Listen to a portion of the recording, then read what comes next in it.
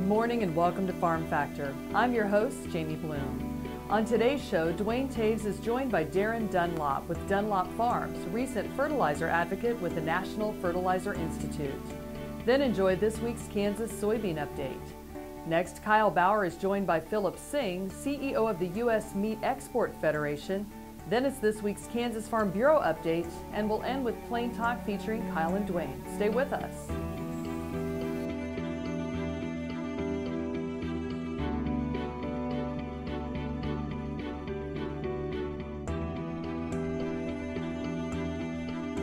Closed captioning brought to you by Ag Promo Source. Together we grow. Learn more at agpromosource.com. This segment brought to you by Kansas Farm Bureau, the voice of agriculture.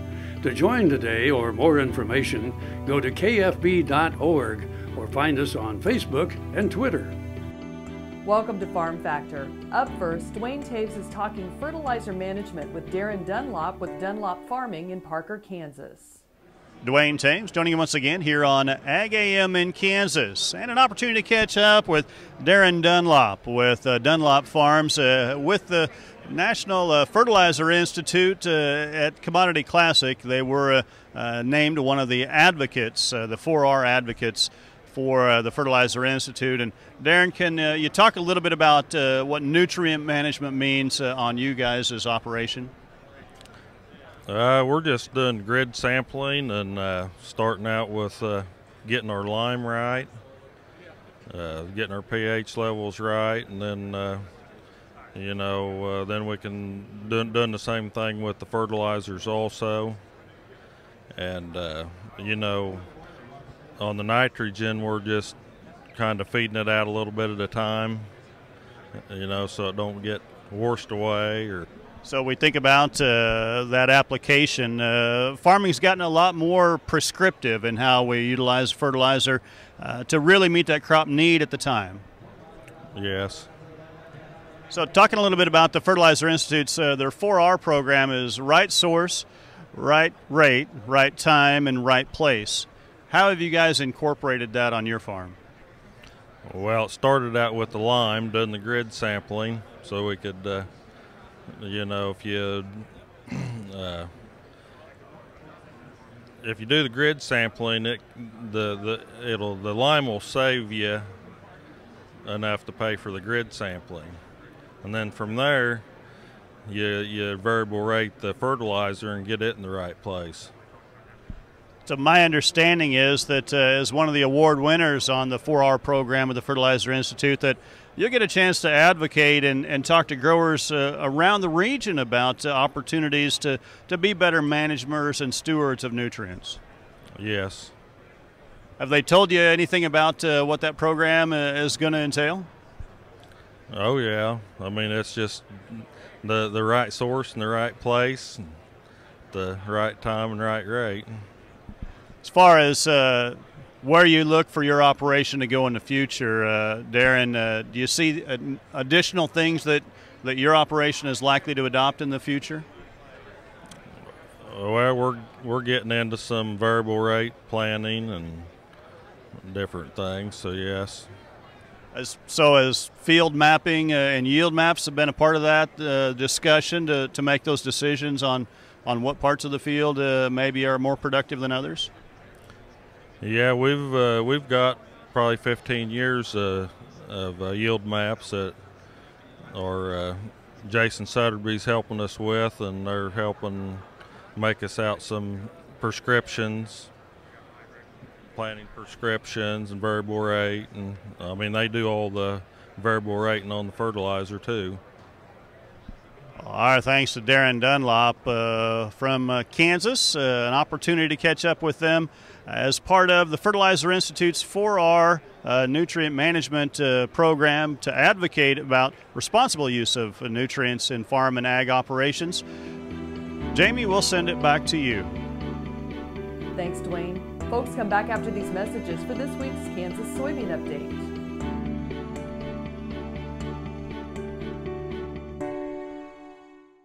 KFRM is one of the largest farm radio stations in the nation, dedicated to informing and entertaining rural listeners from northern Oklahoma to southwestern Nebraska.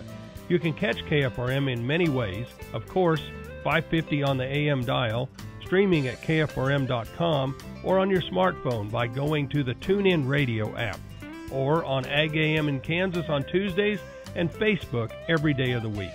KFRM, tune us in. You'll be glad you did. Hi, I'm Randy. And I'm Paul from PFI. We would like to personally invite you to stop by PFI, home of Boot Daddies. PFI is America's Western store covering over 50,000 square feet. Over 25,000 boots. Visit Saddle City with the largest selection of saddles and tack anywhere. A huge selection of hats at Big Spur Hat Company in PFI Town. And choose from the best brands of clothing and accessories for the entire family. PFI, located on Highway 65 at the Battlefield exit in Springfield.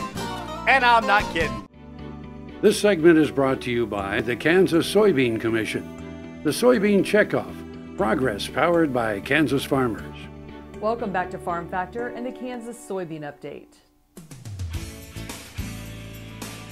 This is the Kansas Soybean Update. It's brought to you by the Kansas Soybean Commission. The Soybean Checkoff, progress powered by Kansas farmers. Jared Nash, who farms near Parsons, joins us. And Jared, you and your wife Kimmy are a part of the DuPont Young Leader Program for 2018, and you just completed phase two of the program recently at the Commodity Classic in Anaheim. Yes, we did. So, what were some of the things involved uh, during phase two of that program? They uh, had some lady come out and talk to us about leadership training, telling us how to convey our message and being able to talk to people and kind of defend our industry versus the people that are anti-ag. And then they had another lady present on business etiquette, on how to dress and how to act in, in a professional manner was the two big presentations that they had. From when you started this program back in Johnston, Iowa during phase one and going through phase two of the program itself, how much more confident are you and your wife with regards to that on being able to go out and, and represent the soybean industry? It helped us out tremendously. Well, my wife was better at it than I was, but I am more suited to be able to go out in public and talk in front of people and to different people and sectors in the industry. Why is it important for farmers to be spokespeople for the industry? So people can understand our way of life and that we're not out to hurt people. Because our families eat and drink the same food and water that everybody else does and we're not going to harm ourselves and you know let alone anybody else. So i think it's important to go defend our way of life. The camaraderie and friends that you have made with your fellow class members is equally as important knowing you've got people around the country you can talk to now too. That was kind of the eye opener there's several people from the east coast that grew soybeans that i was not aware of that they grew soybeans like in delaware. And that way, if there's something going on in different parts of the country where the other people were from, that we can call and get information on what's going on in their states or regions. If you had a chance to talk with other producers in Kansas, why would you tell them they should apply to be a part of this program? If they don't think that they can go out and talk to people and be able to convey a message that's pro ag or anything for that matter that this program really develops the leadership skills it takes and speaking skills that it takes to go out and do that. That is Jared Nash, who farms near Parsons, Kansas, as he and his wife Kimmy are a part of the DuPont Young Leader Program, and he joins us on the Kansas Soybean Update. It's brought to you by the Kansas Soybean Commission. The Soybean Checkoff, progress powered by Kansas farmers. Learn more at kansassoybeans.org. For Kansas Soybeans, I'm Greg Akagi. Hope you enjoyed this week's Kansas Soybean Update. Stay with us after the break for more with Kyle Bauer, reporting from Commodity Classic in Anaheim, California.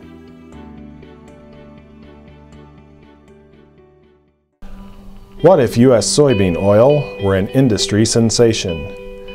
If end users started asking for it by name?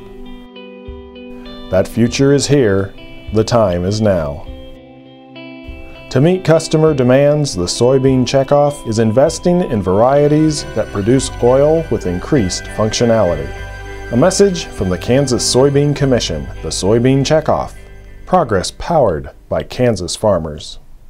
All over the country, More and more communities are making the change to biodiesel made from U.S. soybean oil, and the decision continues improving the health and welfare for millions of Americans while adding billions to our national economy.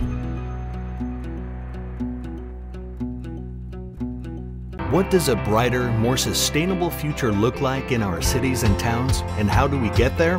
When New York needed an alternative fuel source to reduce carbon emissions, the city found what it needed in biodiesel made from U.S. soybean oil.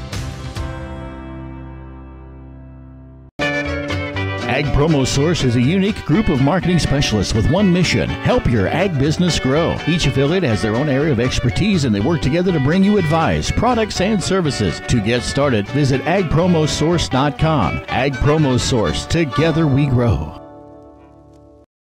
Valley Vet Supply is devoted to providing information and professional quality products at reasonable prices. Valley Vet Supply. This segment brought to you by Sure Crop, liquid crop nutrition delivered right to your farm. We're back. Now let's talk U.S. meat exports with Kyle Bauer and Philip Seng with the U.S. Meat Export Federation. Hi, this is Kyle Bauer reporting from Anaheim, California. I have the opportunity to visit with Philip Seng. He's CEO Emeritus of the U.S. Meat Export Federation. Philip, if you would uh, let folks know what the U.S. Meat Export Federation does. Well, the U.S. Meat Export Federation is a federation that works to promote U.S. beef, pork, and lamb in the international marketplace. Uh, we were started about 40 years ago, just a year and a half ago. We celebrated our 40th anniversary and uh, we've uh, worked uh, basically with uh, in about 100 countries uh, all over the, the world and in practically every hemisphere and in every continent and uh, we're comprised of a, diversity of memberships. So we have the beef and the pork and the lamb industry. We also have basically packers exporters we have processors purveyors and traders. Uh, we also are c- comprised of corn and soybean producers. Uh, those organizations basically understand the value of, of the feeding the cattle, feeding the, feeding the pork, and how what, what a what a market is the, the cattle industry and the pork industry is for U.S. grain. And then we also have agribusiness interests, for example, and also like uh, farm organizations. So we're an amalgam of a lot of different organizations coming together for the single purpose of trying to export more product. And it's been very successful over the last 40 years. Uh, just last year alone, we, we almost exported $14 billion worth of, uh, of, of, product internationally. So uh, it's been very successful over the years. And when you break that out per animal, it's very significant on for every animal that's processed. Yeah, rounded numbers, we, we export about if you look at our fed, uh, fed steer or fed cattle, it'd be about $250 a head would be the export dividend. If you look at pork, it'd be about uh, $50 is the export dividend. We export about 27, 28% of our pork production. We uh, export close to 15% of our beef production. And if you took beef byproducts like hides and skins and some of these other types of things, uh, it's even more than that. It's closer to almost 20%. So it's, it's really made a difference to the profitability of the producer, uh, the fact that uh, we're exporting as much product as we are internationally. How are those trends? I mean, do we see strong demand in our foreign uh, exports? Well, I think that's really the thing right now. You're starting to see in a lot of these markets growing interest in protein. Uh, for the for the longest time, you've had countries that have been more cereal based, if you will, and now as they as their GDP grows, as their buying power grows, they're trending from the cereals to the proteins.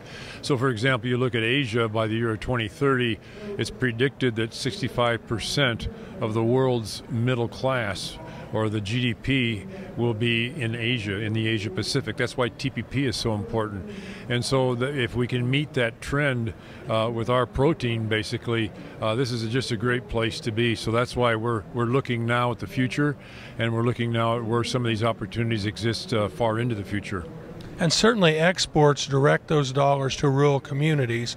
Uh, it it is a value added factory out there. Those livestock facilities. Well, yes, it's it's very value added. I mean, we we we grain feed our our beef and and, uh, and our pork, of course, and, and, and so you, you, add that value, and plus the the nature of the international markets are becoming more branded oriented, they're becoming more high value oriented. If you go to markets like Japan and Korea, uh, they're looking at buying some of the highest prices uh, and the highest valued products you can produce. Uh, for example, certified Angus beef in the international market does almost twice the velocity of sales that it does in the United States because uh, there's just that, that demand that's out there. So if we have uh, market access and if we can uh, have, again, the, the, the support of our U.S. government and the support of the producers in this quest to, to move more protein internationally, I think there's infinite possibilities for producers. We're visiting with Philip Seng. He's CEO Emeritus of the U.S.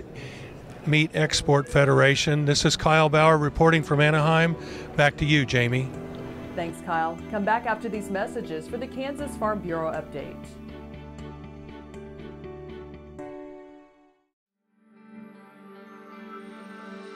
Welcome to Western Kansas Wildlife Travel Center, right here in Oakley, Kansas on I 70 at exit 76. I 70, after all, is America's Main Street, and we're right here on Main Street for you.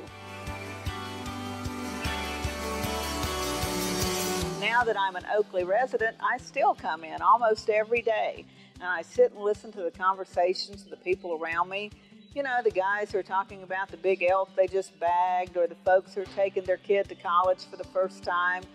People just traveling up and down the highway. Real people, just like you and me. And they find just what I find here real people to serve them. There's history, there's scenery. We hope you'll stop and see us soon. Welcome to Oakley.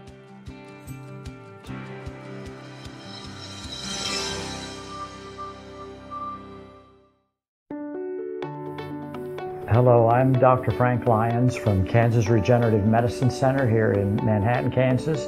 Daryl was one of our patients that we did about seven months ago.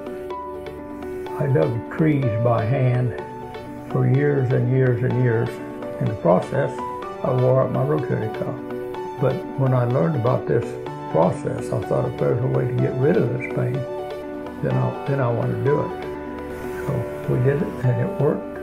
I'm not going to go out and take trees with a shovel anymore, but, but I can do the things that I want to do now. Well, it's been very gratifying to help people with their painful joints and other uh, entities. And it's been especially gratifying to be able to help people who I know and have worked with and known for many years.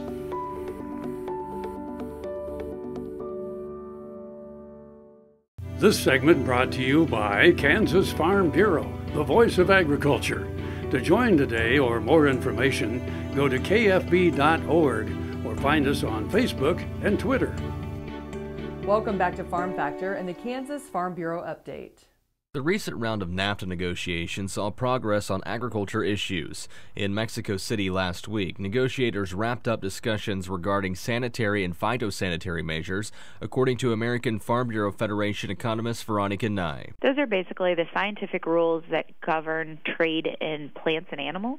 That chapter actually closed, and that means negotiations are finished. And when we spoke with the U.S. negotiators, they were pretty happy with the results that they got out of Canada and Mexico. Nigh says the NAFTA chapter on technical barriers to trade, including things such as labeling, is close to being finished. However, she says there is much work yet to do regarding market access. We've had a lot of concerns about the access U.S. dairy farmers and poultry producers have in Canada. We've asked Canada to give us significant new availability to send our products to their customers.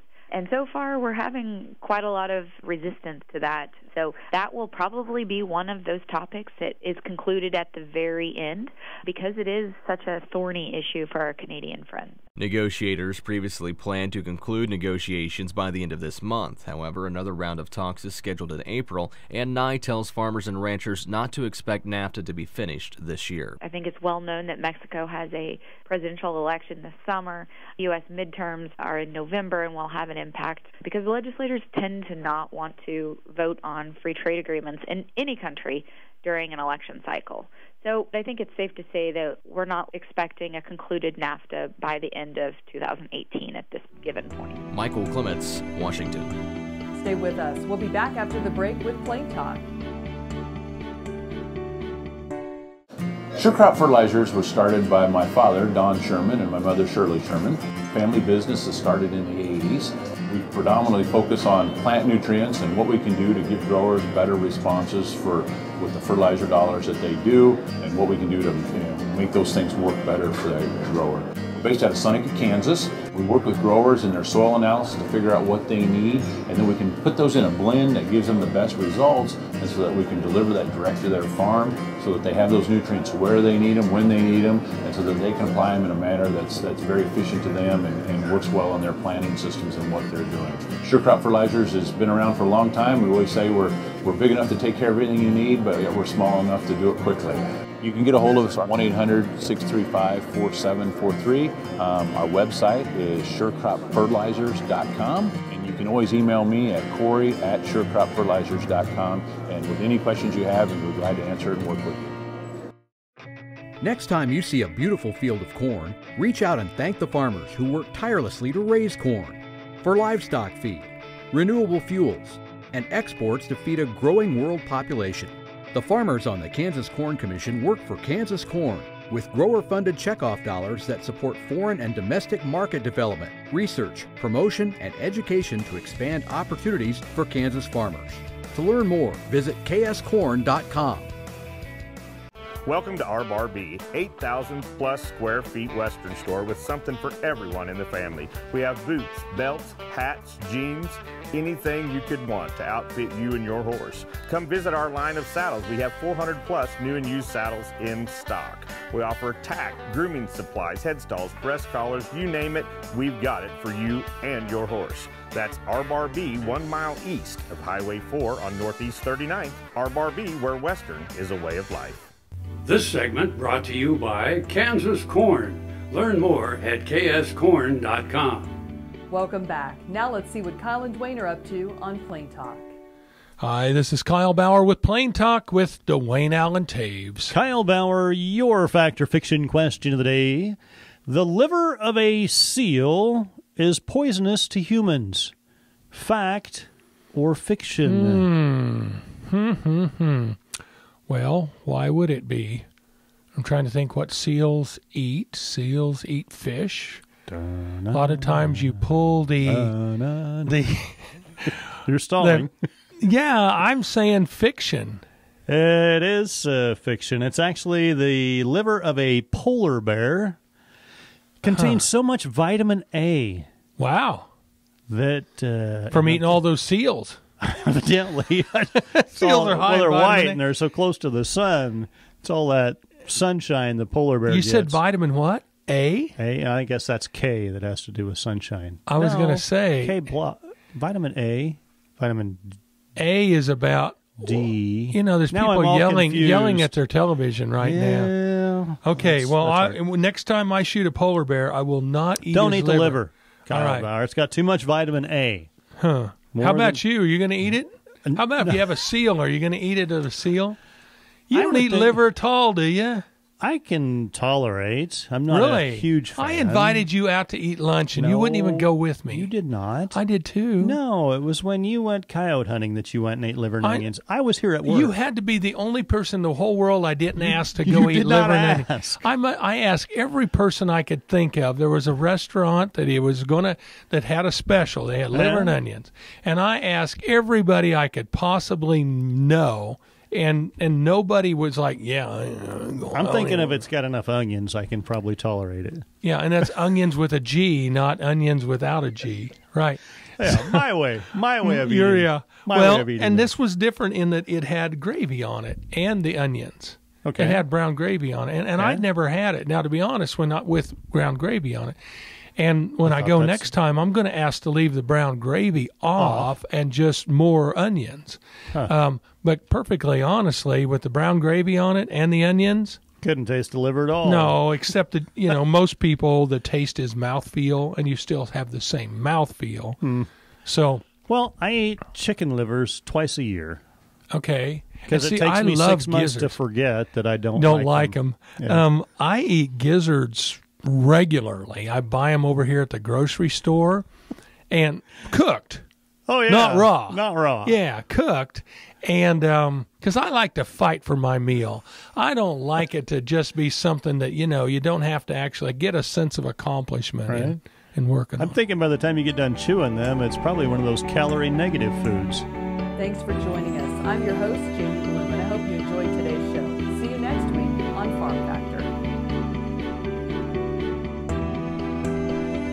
Closed captioning brought to you by Ag Promo Source. Together we grow. Learn more at agpromosource.com.